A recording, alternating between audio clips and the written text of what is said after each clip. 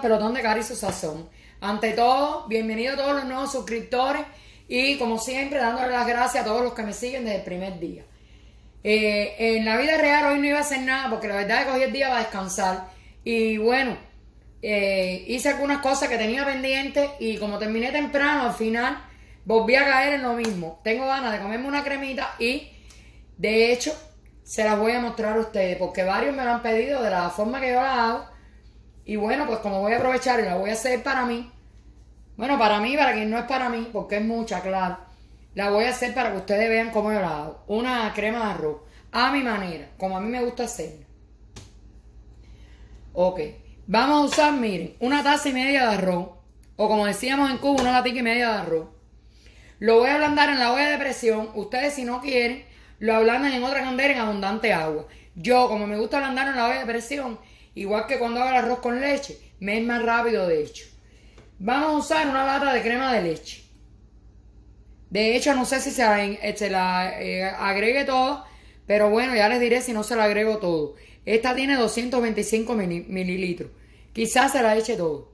Esta es la crema de leche que yo uso. Cuando voy a hacer algún dulce les digo a ustedes crema de leche o alguna crema, es esta la que uso. Ok, la compro en Paul, en Walmart, en Sedan, en cualquier super. Vamos a usar queso. Voy a usar este de dos colores. Porque es el que tengo. Igual pueden usar el que ustedes tengan. Eh, vamos a usar media cucharadita de orégano. De 5 a 6 dientes de ajo. Hojitas del 2 o 3 hojitas de laurel. Una pizca de pimienta que a mí me gusta. Si a ustedes les gusta, se la echan. Si no, no. Es cuestión de gusto. Pero bueno, para mí, una crema sin pimienta deja de ser crema. Y una cebolla blanca. Tampoco importa el color de la cebolla.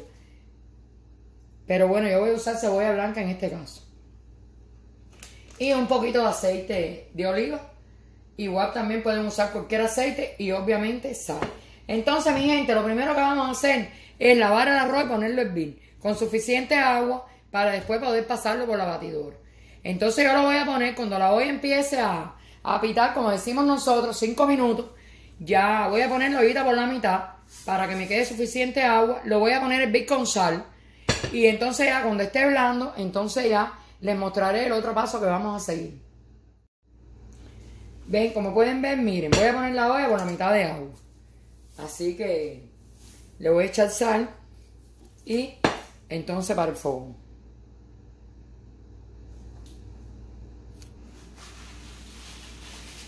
Entonces mi gente ya está puesta la olla. Vamos a secar. Ya está puesta ahí. Eh, el arroz sí tenemos que hacerlo con la candela bajita. Porque si no se nos empieza a botar por acá arriba, ¿ok?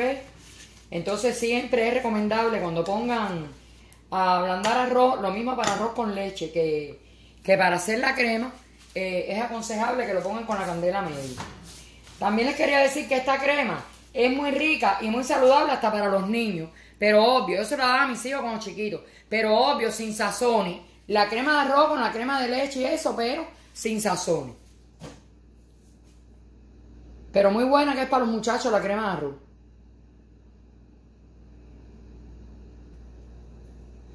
Entonces, mi gente, en lo que tenemos, en lo que estamos por allá andando el arroz, vamos a ir adelantando y, y haciendo el sofrito que le vamos a agregar a la crema de arroz.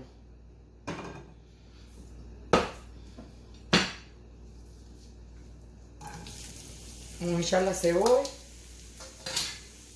y vamos a echarle el ajo. Vamos a hacer un pequeño sofrito ahí sin abundancia de grasa. ¿Ven?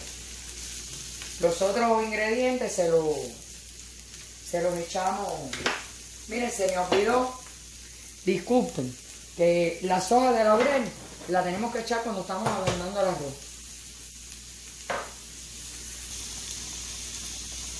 Así que destapé la hoy se la vamos a echar. Porque para que coge el sabor, ¿me entienden?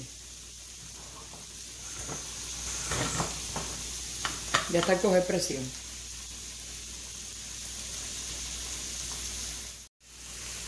Entonces por aquí estamos haciendo sofrito.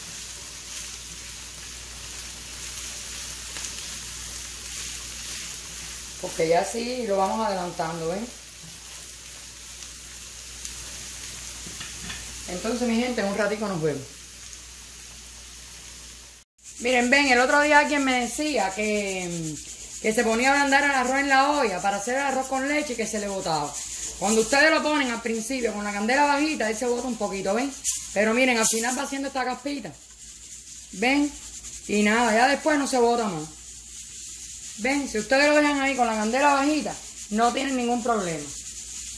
No tienen ningún problema que ya él, después ya él no se bota. Se embarra un poquito, ven, y después primero que se botó, pero ya después olvídense que ya después todo pasa. Y ya después no se bota más. Ahí dejamos el arroz de 5 o 6 minutos para que se nos de vino.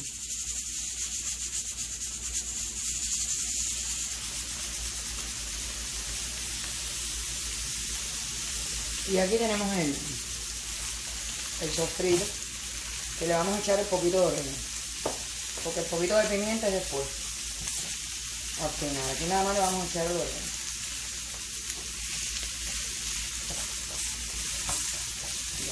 Ahora voy a bajar el arroz porque ya pasó el tiempo, porque yo voy a apagar el fogón de, de sofrito. Voy a apagarle la olla al arroz y esperar a, a que bote la presión y que se enfríe un poco para poderlo pasar por la batidora. ¿Ok, mi gente? Vamos a apagar aquí entonces. Porque como todo lo vamos a pasar por la batidora, tenemos que esperar a que se refresque un poco. Vamos a apagar el fogón también del arroz. Bueno, pues entonces, mi gente, ya como el arroz está blandito como tiene que estar, lo vamos a echar en la batidora. Todavía está algo caliente.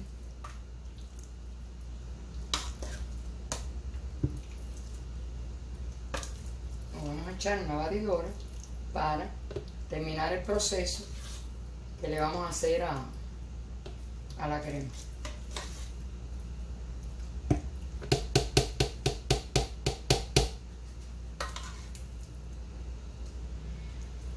Le sacamos las hojitas de laurel porque obviamente no se las vamos a moler. Entonces ahora le echamos la, la crema de leche. Le agregamos la lata de crema de leche. Le agregamos el sofrito que hicimos. Déjame coger una cuchara.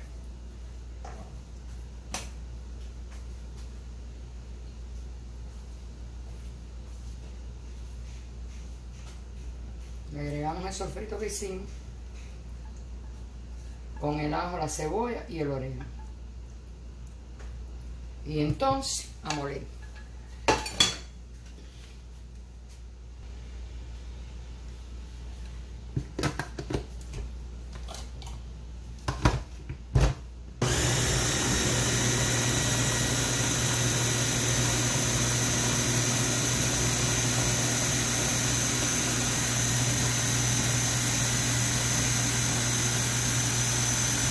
Esas cositas negras que se ven es el orégano.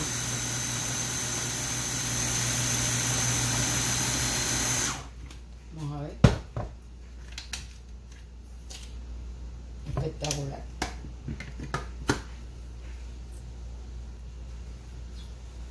Le tuve que echar para que quedara a mi gusto un poquito de agua caliente. Porque el arroz se me secó mucho, entonces le eché un poquito de agua caliente. Yo creo que por ahí se fue con un pedacito de laurel. Pero bueno, suerte que todo eso se mueve.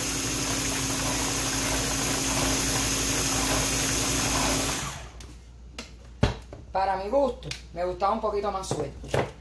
¿Ven? Ahora sí. Ahora sí. Entonces vamos a servirla. Ahora sí, no es ahora, es ahora y no como tú decías. Vamos a servirla entonces. Ahora sí, caridad, y no cuando tú decías. Vamos a servirle aquí. Miren qué rica. Como les digo, esto para los niños es fenomenal, pero obviamente sin sazón. Para los niños con sazón, nada que ver. Nada que ver.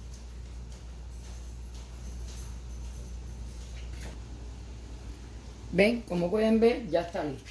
Ahora le vamos a agregar un poquito de queso. Porque eso sí, me encanta con queso.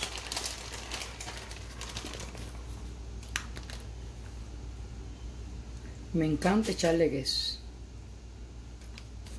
Sé queso así me pego. Y ya tenemos lista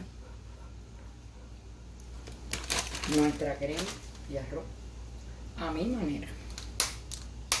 Espero que les guste a ustedes también. Y bueno, pues si les gusta, me lo dejan saber, ¿ok? Yo estoy segura que les va a gustar. Un poquito de pimienta. Me encanta así.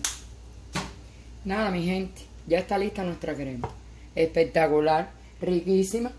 Y bueno, si les gustó, me dejan saber. A mí la verdad me briga. Tuve que echarle un poquito más de sal de la que le había echado en el arroz. Tuve que echar un poquito más de sal porque estaba un poquito desabrido.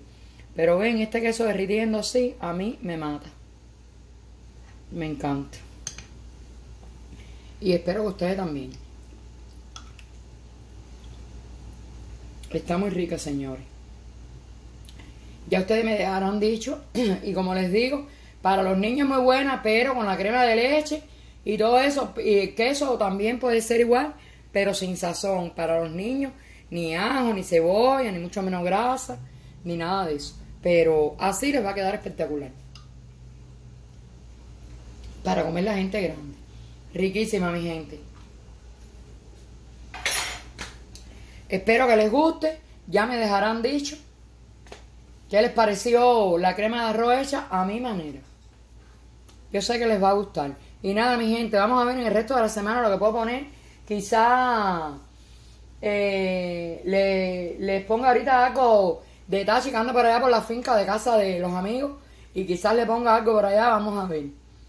Ya esto se acabó aquí y ya espero que estén satisfechos y que les haya gustado. Ok, mi gente, recuerden compartir los videos. Se lo voy a agradecer en el alma. Si comparten los videos y se lo dicen a sus amigos, ustedes saben que con eso me ayudan muchísimo. Y bueno, nada, no pienso que para mi cumpleaños lleguemos a los 100 mil, porque la verdad que todavía nos falta muchísimo, pero bueno, no importa. De aquí a mi cumpleaños seremos mucho más, y si no es para este cumpleaños es para el otro, y si no para el otro, pero para algún cumpleaños, vamos a celebrar los 100 mil suscriptores. Hay más tiempo que vida, como dice el dicho, y nada, mi gente, que yo tengo paciencia y yo sé esperar. Así que yo sé que ustedes me están ayudando mucho, están cooperando mucho para que yo llegue a los 100 mil, pero ya juntos llegaremos y juntos lo vamos a celebrar. Gracias mi gente, los quiero mucho y chao pescado.